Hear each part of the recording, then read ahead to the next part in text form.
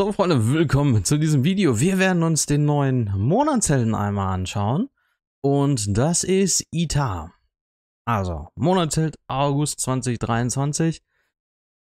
Sieht erstmal diebisch aus. Sieht aus wie ein Schurke. Das ist schon mal gut. Ich mag Schurken. Deswegen finde ich sie auch, ich finde find sie auch optisch ganz cool. Ja. Also das, äh, das, das muss ich schon mal erstmal so, so festhalten. Das ist alles ganz, Ganz, ganz nice. Der Schurke mit seinem Dolch hier. Erstmal optisch und klasse. Super. Perfekt. Bin ich ein Freund von. Dann gehen wir mal weiter. Äh, fangen wir hier auf der Seite an. Äh, Alpha. Ne, fangen wir auf der Seite an. Machen wir erstmal, weil, weil hier die zwei, weil die Alpha-Dingens ist, ne? Weil, äh, äh, dann haben wir das aus dem Weg, sage ich jetzt mal. So, das ist der Angriff verstärkt. Das ist prinzipiell schon mal gut. Also hoffen wir auch, dass der Monatsheld irgendwas macht, was äh, Damage macht, ne? Sonst wäre das ja irgendwie ein bisschen albern.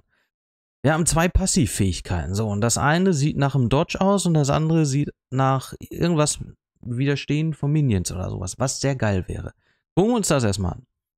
Spezialschaden ausweichen. Dieser Charakter hat eine Chance von 10% Spezialfähigkeiten, die Schaden zufügen, auszuweichen. Das ist nice. Das ist sehr geil.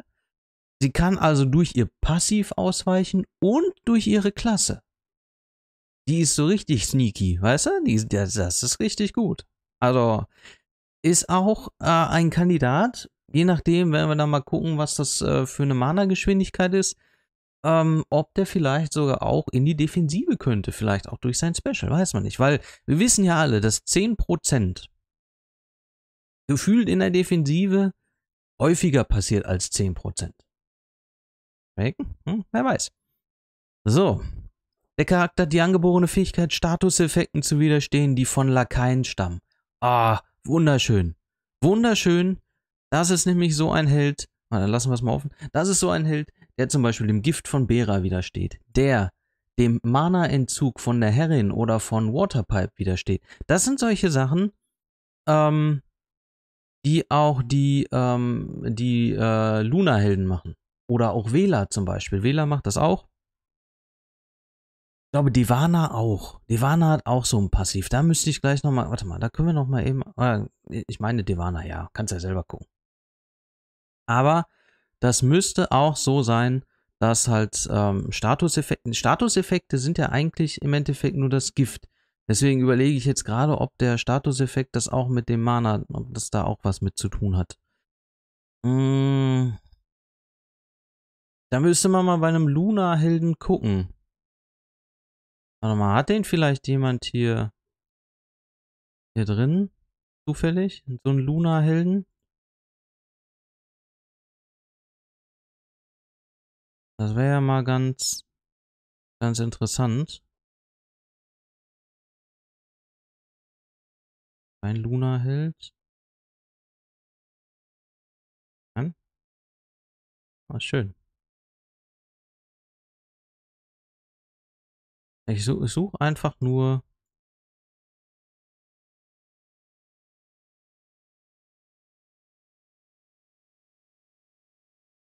Da, da, da bin ich mir jetzt einfach nicht äh, hundertprozentig sicher. Weil solche Helden habe ich halt nicht. ja, deswegen, das ist so ein bisschen das Problem. Oh, auch schön. Da denn hier mal so ein Luna-Helden stehen? Das kann doch nicht sein. Ihr enttäuscht mich alle. ich habe selber keinen. Achso, das sind ja unsere Nostalgiker. Der, der Fisch. Innern Luna-Helden. Warte mal, das muss ich jetzt aber mal eben rausfinden. Ich muss jetzt mal eben leider mal eben suchen. Oh. Hickok. Ich kann dich jetzt aber, ja, dann kann ich jetzt auch nicht suchen. Ich muss dich gleich angreifen. Ach, so eine Kacke. Den, den, den greifen wir an, den Hickok. Den kennen wir ja. Okay, ähm, wenn ich jetzt weitersuche, ist er weg. Wenn ich jetzt ein PvP mache, das hat nichts mit dem Held des Monats zu tun. Also äh, müssen wir es jetzt erstmal verschieben. Ähm, ich bin jetzt nicht zu 100%ig sicher, ob sich das auch auf Mana bezieht. Statuseffekte. Mana Clown ist ja kein Statuseffekt. Oder ist das ein Statuseffekt? Also ich muss mal ausprobieren. Aber wenn man, wenn man Luna-Helden hat und hier das äh, passiv sich anguckt und liest, ähm, dann wird man es auch wissen. Dann braucht man es gar nicht testen. Wenn da das gleiche steht, dann weißt du, dass das auch funktioniert. Ja, lassen wir das jetzt erstmal so stehen. Ich muss es ausprobieren, vielleicht schreibe ich es nochmal als angepinnten Kommentar drunter, wenn ich irgendwie einen gefunden habe oder sowas und dann das nachsehen kann. Ja.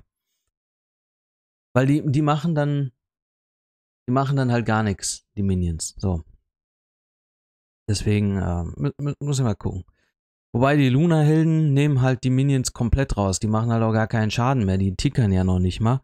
Deswegen könnte ich mir vorstellen, dass es hier nur um die Statuseffekte geht und nicht um den Mana-Cloud. Aber unter Vorwahl. Lassen wir das erstmal so stehen. Erstaunlicher Einbruch. Jo, das passt zu einem Schurken. Mana-Geschwindigkeit sehr schnell. Oh. Also ich kann jetzt schon sagen, ich bin jetzt schon Fan von diesem Monatshelden. Sehr schnell, mit Dodge und Schurke und sieht gut aus. Willst du mehr als ein Monatshelden, ja? So, stiehlt alle bannbaren Boni vom Ziel und verteilt sie zufällig auf Verbündete. Geil. Ludwig. Ludwig fällt mir da einfach ein. Den Spott, Alpha-Spott. Woche süß. Queen Anne. Theoretisch auch das Hippo. Lass das Hippo mal auslösen. Feuer Ita drauf. Dann ist der, ist das äh, Gedöns da von, äh, vom Hippo weg. Und das hat irgendeiner von uns. Also sehr geil. Gefällt mir. Sehr stark. Stiehlt 35% Mana vom Ziel und verteilt es auf Verbündete.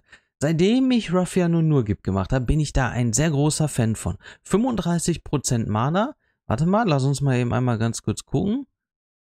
Sie stiehlt 50 Mana. Okay, das ist ein bisschen mehr, aber das ist ja kein Problem. 35% Mana klauen ist super. Ja, ähm, mache ich ganz ehrlich, ich, ich könnte es wieder zeigen. Ich habe meine ganzen PvPs heute mit dem Ruby und Nurgib-Team gemacht.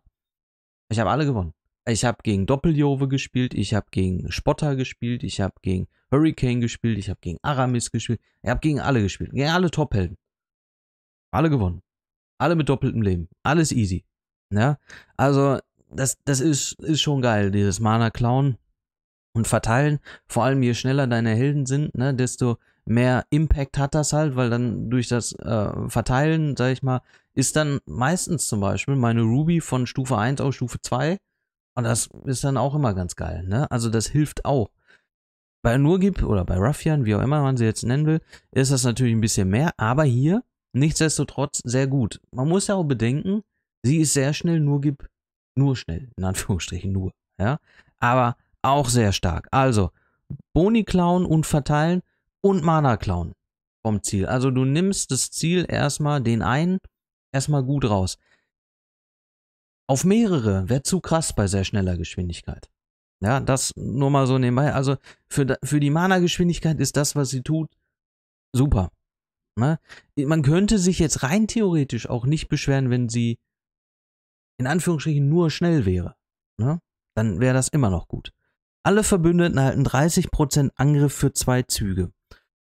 Für zwei Züge, das ist ein bisschen wenig, aber sie ist halt auch sehr schnell. Ne? Also in der Regel ist sie halt auch mit sechs Steinen voll, wenn man eine Elver Mana-Truppe hat. Oder dann müsste man gucken, das Äquivalent zu Styx von Magic. Ich habe Videos dazu gemacht, kann man ganz einfach nachgucken. Ähm, es gibt da immer noch die, ähm, die Übersicht mit den ganzen Mana-Geschwindigkeiten und äh, welcher, welche Mana-Geschwindigkeit bei wie vielen Steinen an ist und sowas. Habe ich auch ein Video zu gemacht. Einfach mal suchen, wenn man es noch nicht weiß, ne?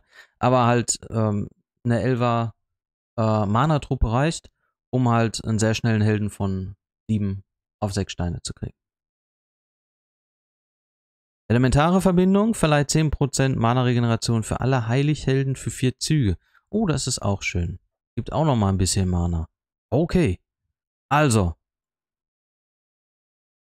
Geil. Wirklich. Sie macht zwar keinen Schaden. Sie ist ein reiner Support-Held. Ja. Also macht im Endeffekt eigentlich diese, diese Fähigkeit hier gar keinen Sinn. Sind wir mal ehrlich. Die ist nur für den Steinschaden. Also, gut. ich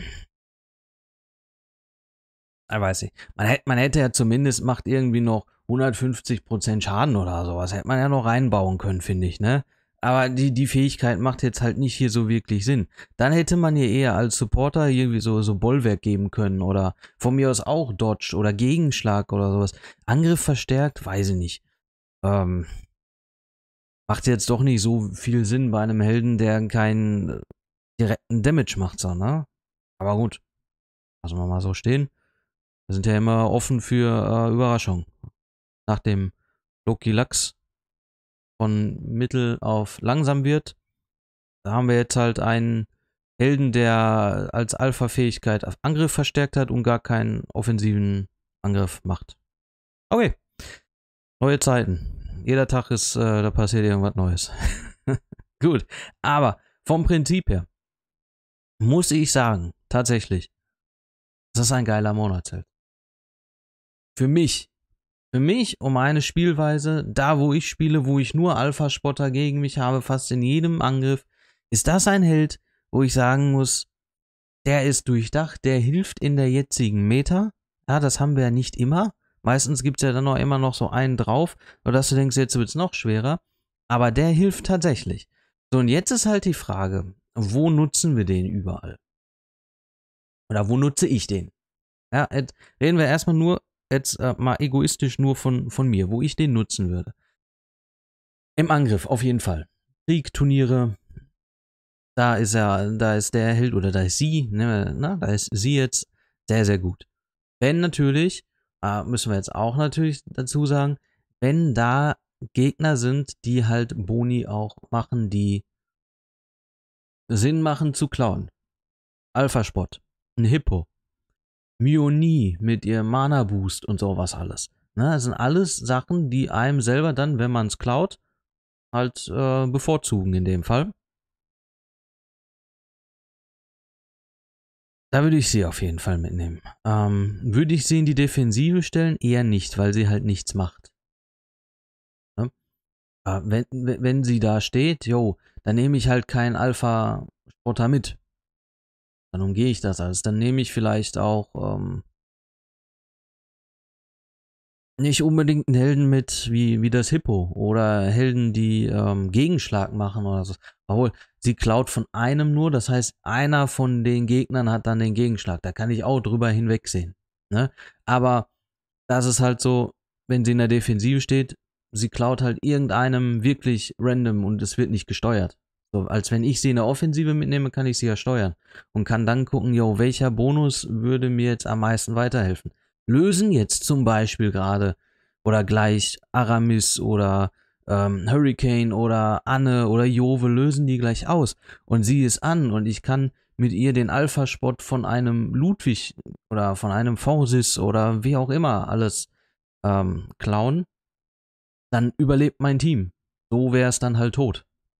Wenn jetzt natürlich, das wird, wird zufällig verteilt, ja, ähm, wenn dann natürlich ausgerechnet, ich sag mal, mein, mein einziger Heiler oder sowas den Spot kriegt und danach tot ist, ist halt blöd gelaufen. Aber dann, sage ich mal so, besser der Heiler tot als mein ganzes Team. So könnte ich dann noch Damage machen. Ja? Also deswegen Defensive eher nicht, Offensive auf jeden Fall. Titan macht null Sinn, ja, absolut nicht. Äh, höchstens eventuell, wenn überhaupt, für die Angriffsverstärkung, aber pff, da gibt es auch andere Helden, die sowas machen. Hm, da würde ich sie jetzt nicht unbedingt für mitnehmen. Äh, Events auch nicht, ne? Events brauchst du drei äh, Helden, also brauchst du einen Held, der auf drei geht und dicken Damage macht. Da, das macht sie halt nicht. Da, da ist sie halt auch nicht für geeignet. Mm, ja, Titan haben wir, Mythi äh, Events haben wir, Defensive, Offensive, ja, also ist im Endeffekt ein reiner Offensivheld, ein reiner Support in der Offensive. Da ist er natürlich top. Sehr schnell. Selber sehr schnell geladen. Und boostet dann halt noch ein bisschen das Mana von anderen. Jetzt könnte man natürlich, äh, wurde schon im, im Chat bei uns so ein paar Gedankenspiele gemacht. Jo, was passiert denn, wenn man einen Baden mitnimmt, dann sie mitnimmt und dann zum Beispiel ähm, schnelle Helden noch mit einem Kostümbonus hat, dann müssten die ja dann auch irgendwie äh, schon statt mit sieben, mit sechs Steinen sogar an sein, die schnellen Helden.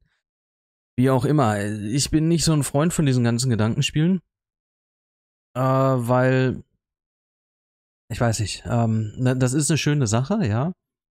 Aber da ist mir halt dann zu viel noch. Ähm, zu viele Ev Eventualitäten dabei. Ne? Muss man ausprobieren. Wenn das funktioniert, wenn man jetzt einen Riss mitnimmt und sie zum Beispiel, ähm, würde ja passen, beide gelb, ne? Er riss schnell und Bade, sie sehr schnell und ähm, gibt halt ein bisschen Mana ab.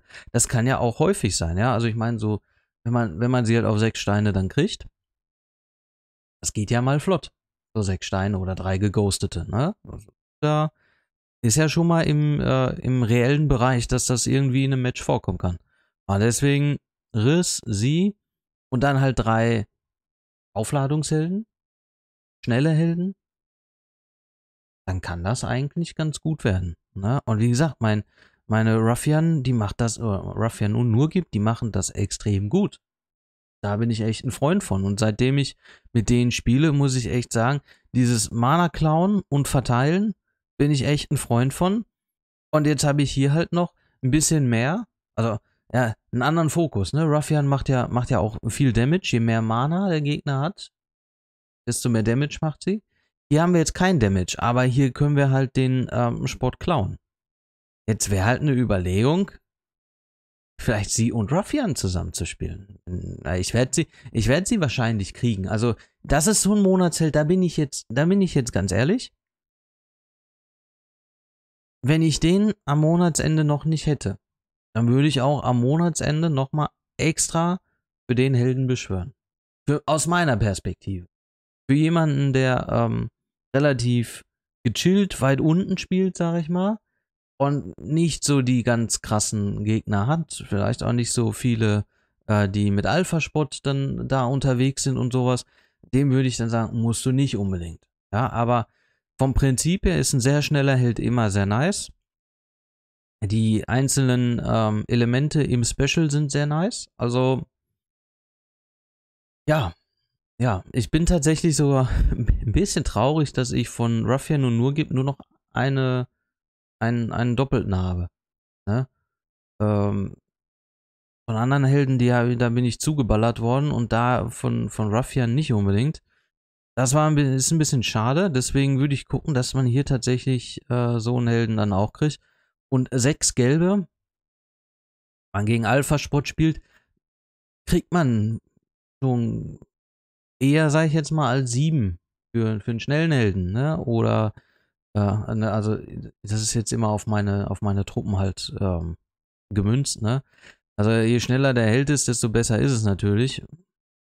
Er wird der Albtraum jedes Alpha-Spotters sein. Und das ist natürlich auch schön. Ja, das darf man ja auch nicht vergessen. Gegen Ludwig kriegst du einmal an, klaust du den Spott, machst du dann nochmal an wenn du denn dann die Steine hast oder eine Lücke hast zum Ghosten, dann kannst du auch den äh, Mana-Buff von ihm dann von einem anderen stehlen und dann hast du selber einen Helden, der diesen Mana-Buff hat und die ganze Zeit halt äh, immer mehr Mana kriegt pro Runde, ne? Also, das sind nette Sachen. Und ich muss echt sagen, ich bin, ähm, ich bin begeistert von dem Helden. Wenn er jetzt noch Schaden machen würde, dann wäre er der, der perfekte Held. Für mich no, no, noch Schaden dazu, dann wäre das aber auch schon zu gut für Monatshelden, sind wir mal ehrlich. Also deswegen, ja, das wäre jetzt so ein Held, wo ich auch sagen würde, wenn du den am Monatsende noch nicht hast und weißt, du spielst gegen viele Alpha-Spotter, dann würde ich nicht Nein sagen, wenn du mich fragst, ob du noch eine Beschwörung versuchen solltest, um den Monatshelden zu kriegen. Ja. Also deswegen, ähm, ich hoffe, ich werde sie mindestens zweimal kriegen. Das wäre ganz geil. So oft wie ich den letzten gekriegt habe, so oft sie, dann ist alles, alles gut. Sie würde ich tatsächlich auch sehr zeitnah leveln. Und sie würde auch einen Limit Break kriegen. Den doppelten weiß ich nicht, aber zumindest auf jeden Fall ein. Ich bin begeistert. Ganz ehrlich.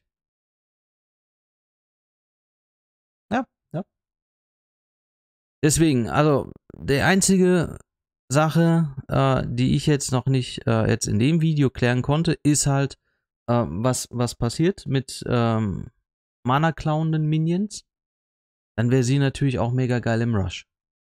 Ja? Ich meine, gut, da sind sowieso sechs Steine, die du brauchst. Da hat ihre Mana-Geschwindigkeit nicht so viel mit zu tun. Aber auch da Alpha-Spot. Und wenn dann, wenn du, wenn du einen Helden hast, der, ähm, ja, warte mal. Die Luna-Helden, die silenzen ja komplett die gegnerischen Minions. Ich glaube, das macht sie aber nicht. Es wird, die Ticker werden kommen von den Minions, die werden auch Schaden machen. Es wird halt nur, dass äh, zum Beispiel Giftschaden halt von Bera oder halt Brandschaden von Sun Quan, das Sun Quan, der rote Königreich-Held, der, der die Minions macht. Also der Fünfer, na, natürlich auch der, der rote Vierer. Aber alle, die sowas machen, ähm, das wird, glaube ich, nur blockiert oder widerstanden. Ich glaube, Mana, ich, ich, ich bin mir halt einfach nicht sicher. Ja, äh, schreibt es mir mal rein. Ich werde mich jetzt auch schlau machen. Wahrscheinlich, wenn ihr es reinschreibt, werde ich es auch schon wissen. Aber schreibt es trotzdem mal rein, falls ich es nicht rausfinde. Aber das ist jetzt so eine Sache, die ich nochmal abchecke. Vielleicht, ja, habe ich es auch schon rausgefunden, bevor das Video erscheint. Dann einmal in die Kommentare gucken oder in die Videobeschreibung. Am besten in die Videobeschreibung.